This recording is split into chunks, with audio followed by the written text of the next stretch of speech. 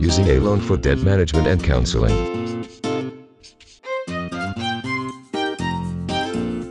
One option that many people take when they find themselves in debt that they cannot rid themselves of a loan, when the bills are piling up and can't be paid off, is the option of a debt consolidation loan.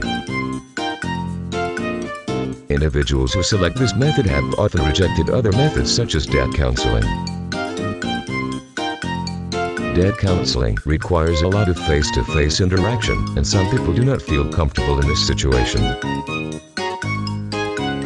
In addition, consumer debt counseling entails an application process that involves creditors, so the process could result in a bad credit score. There are hundreds of companies offering consolidation loans online, and it is up to individual debtors to do some careful research to determine which company offers the best solution in their current situation. The company the individual chooses will need to know what they're doing and know how to do it right, so individuals should not jump at the first offer they see in their search. First, look for a company that has a good reputation. Do not rely on personal accounts that you read on their website. Any company can hire people to say that they are great.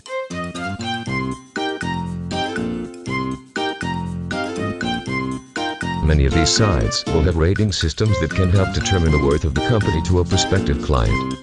A second thing to look for in your research is if the company has been accredited by a third-party organization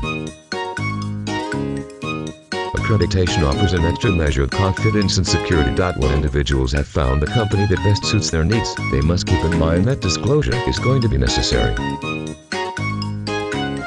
There will be a lot of financial information given over to the company the individual chooses, so the chosen company needs to be one that the debtor has trust and confidence in.